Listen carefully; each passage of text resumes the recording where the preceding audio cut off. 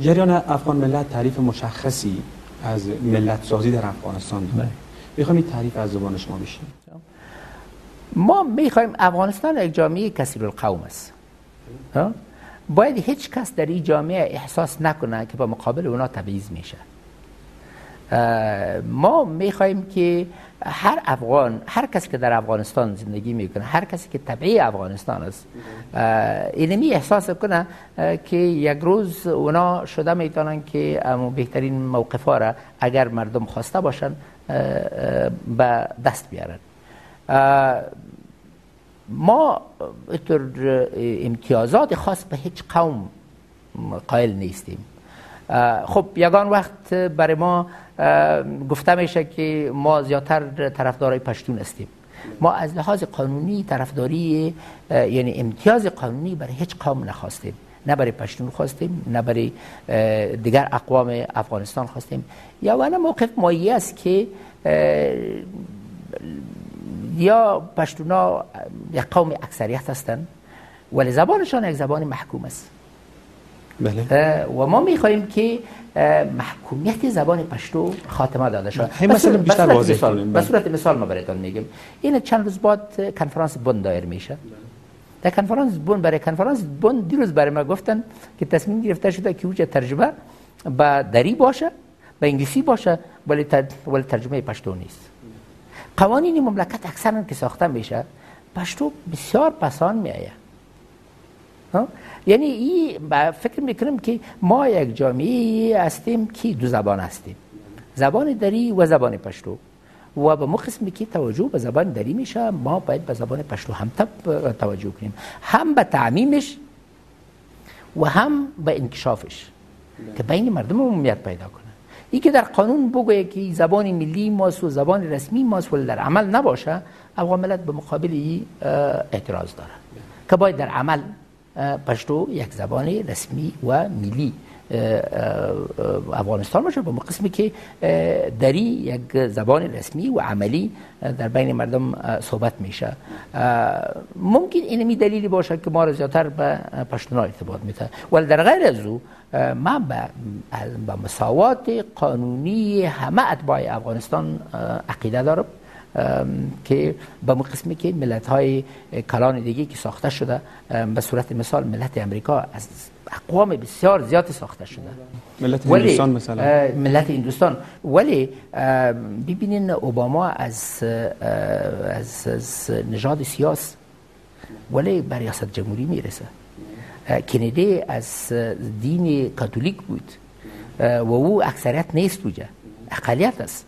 ولی اونا برای ریاست جمهوری می‌رسن. بله بسیار همین مثال دقیقاً بیشتر می‌خواستم به شما مطرح کنم چیزی که شما اور خیالی خوانده می‌خواستم بگم مثال های 1865 که جنگ های داخلی رو ما در آمریکا شاهد بودیم سیاه‌پوستان اجازه نمی‌دادن که حتی به داخل سرویس بالا بشن بله بله.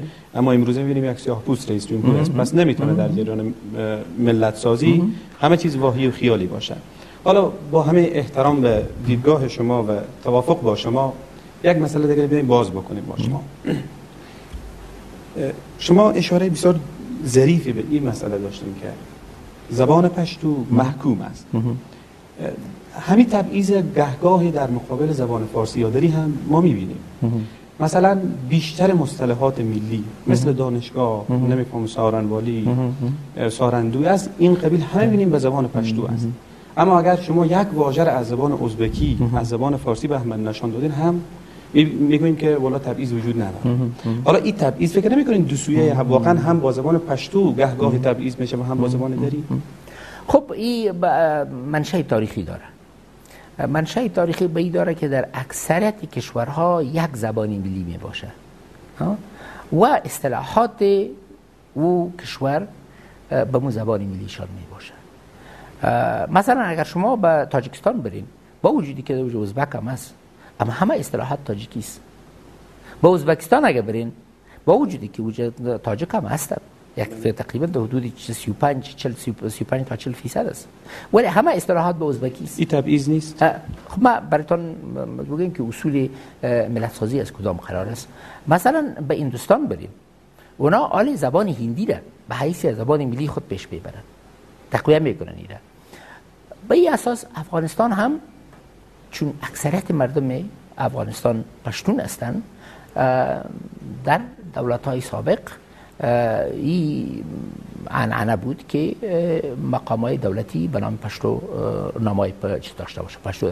و در قانون اساسی جدید هم این چیز تایید شد که ترمینولوژی ملی یکی از مواد قانونی اساسی ای بود که ترمینولوژی ملی کما فی سابق به جای خود میماند. ماده 16 هم بند 4 و وقتی که اول ما به ریاست بانک آمدم بسیاری مردم از شمال از پشتونا می آمدن از علمایی که به مقابل نامه شد صحبت می‌کردن و ما برای اونا می‌گفتم که امیال جنگ خلاص شده. من میفهم که سر شما یک اندازه ظلم است ولی ما برایتان اطمینان میتم که به مرور زمان اینمی مظالم از بین میره. و هفته گذشته می جمعه گذشته من در مزار شریف بودم. با اون مردم که از طرف چشم را دعوت کرده بودم باز با امرایشان دیدم. ما برشان گفتم بیادتان است که 8 سال پیش آمده بودین؟ گفتم آره. اون مظالم از بین گفت فضل خداست بله. این مظالم از سوی چه کسایی بوده؟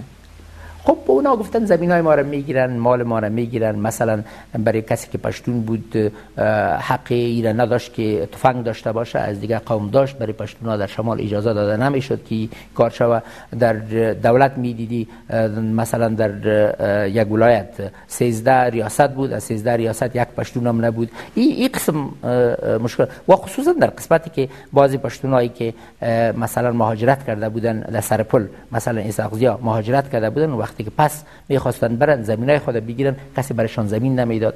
در قندوز تخار از این قسم گپا بود. و ما گفتم که این جنگ نو خلاص شده حکومت تابال قوی نیست قانونمندی نیست اینمی حالت خلاص میشه. بله بسیار و به او اساس ما اونا را به طرف صبر و تحمل دعوت کردم